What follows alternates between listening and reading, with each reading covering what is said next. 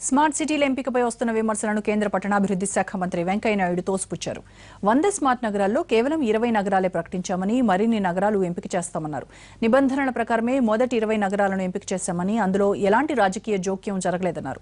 చాలా బీజేపీ రాష్ట్రాలకు చెందిన నగరాలు కూడా ఎంపిక అవ్వలేదని విపక్షాల విమర్శలు సరికాదని వెంకయ్య అన్నారు. నగరపాలక సంస్థలు తమ పనితీరును మెరుగుపరుచుకుంటే వచ్చే లిస్టుల్లో చోటు దక్కించుకుంటాయన్నారు.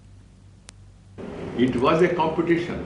In competition, whatever grade you get, the top city getting the grade, this is number one. The last one is number 20. The other things follows. So the 20 cities are selected by competition, not because of any political consideration. The very fact the Prime Minister constituency is not there, the Home Minister constituency is not there, the Finance Minister's constituency is not there, the Defense Minister's constituency is not there, even my own constituency is not there.